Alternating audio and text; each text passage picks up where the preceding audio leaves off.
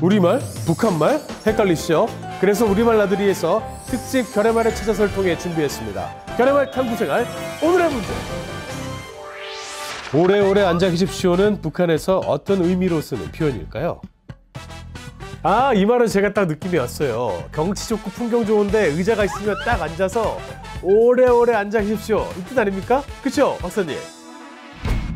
에이, 그럴 리가요. 오래오래 앉아 계십시오란 말은요, 무병장수를 기원하는 인사말입니다. 우리나라에선 그러잖아요. 할아버지 생신 축하드립니다.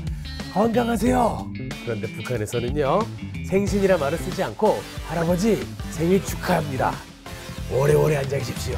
이렇게 표현하죠. 잘 아셨죠? 오늘 배운 표현 잘 기억하시고요. 다음 시간에도 결의말 탐구 생활로 돌아옵니다.